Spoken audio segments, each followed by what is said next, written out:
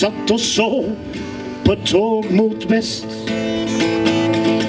Sove på tog er noe av det jeg liker best. Så drømte jeg noen drømmer som gjorde meg trist. Noen venner og meg, slik vi hadde det sist.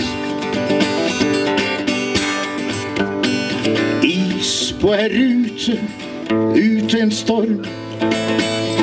Damp fra noen klær rundt en glødende ovn. Frost røyk fra døra, det var venner som kom.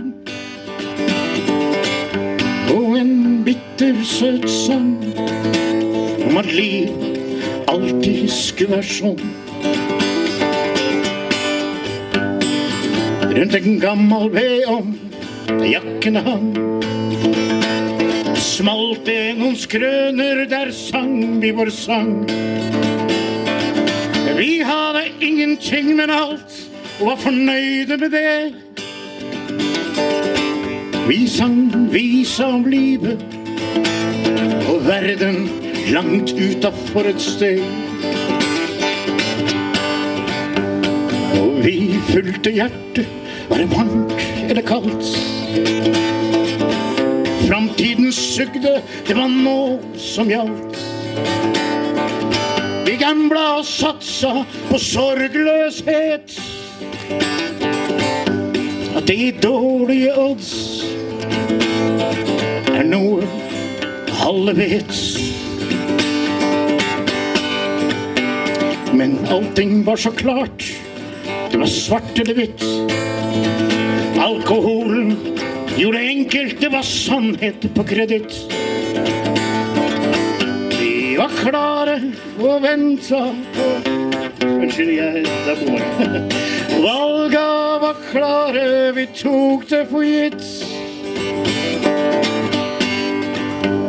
Men veien vi dro på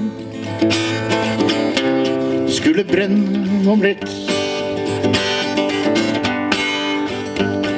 Det er forfengt å reise tilbake i tid. Jeg lengter så sårt å se det en gang til. Men da være så klok at jeg så hva det gjaldt.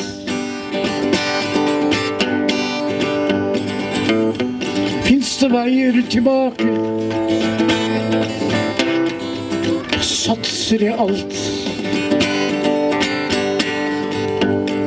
Noe er borte, noe tok tid. Mange flere ganger har jeg satset og lydd.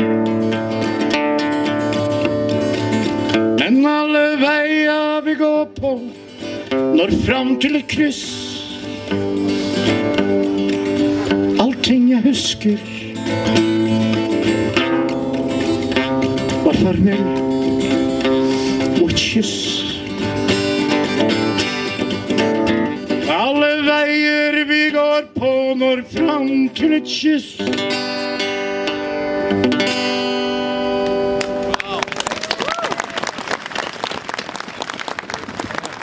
Tusen, tusen takk, Inge.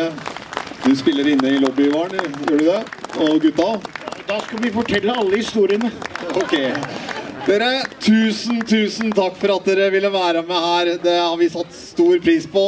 Tusen takk for at dere er kommet. Ha fortsatt en fin dag her på Beitostølen. Tusen takk.